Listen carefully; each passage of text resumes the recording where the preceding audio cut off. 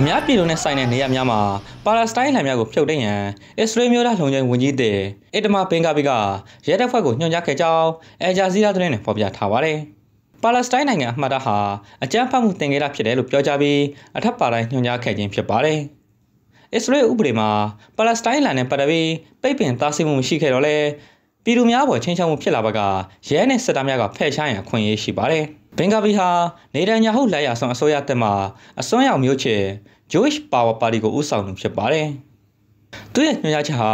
ပါလက်စတိုင်းတို့ရဲ့ကိုယ်ပိုင်လက္ခဏာနဲ့လွတ်လပ်စွာပြောဆိုခွင့်ပါလက်စတိုင်းလိုလားတဲ့ဆန္ဒပြပွဲများနဲ့ပတ်သက်ပြီးတင်းမာတဲ့သဘောထားရှိတာကိုဖော်ပြနေပါတယ်။အစ္စရေးနိုင်ငံတွင်ပါလက်စတိုင်းလမ်းများလွှင့်ထူခြင်းကိုအစ္စရေးအာဏာပိုင်များက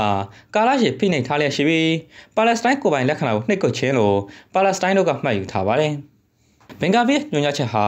မြို့တော်တဲအပစ်မှာတော့စနေနေ့အစိုးရစန့်ကျင်ဆန္ဒပြပွဲကြီးများဖြစ်ပေါ်ခဲ့ပြီးနောက်ပေါ်ပေါက်ခဲ့ခြင်းဖြစ်ပါတယ်။အဆိုပါဆန္ဒပြသူများဟာပါလက်စတိုင်းအလံများကိုဝေယမ်းခဲ့ကြပါတယ်။ဆန္ဒပြသူများကဝန်ကြီးချုပ်ဘန်ဂျမင်နေဒန်ညာဟုရဲ့အစိုးရတက်ကိုဖတ်စစ်လို့တမုတ်ခဲ့ပြီးပါလက်စတိုင်းနဲ့အစ္စရေးကြားဒဏ်လို့ညီမျှမှုနဲ့အတူရှင်တွဲနေထိုင်မှုကိုထောက်ခံကြောင်းပြောဆိုခဲ့ပါတယ်။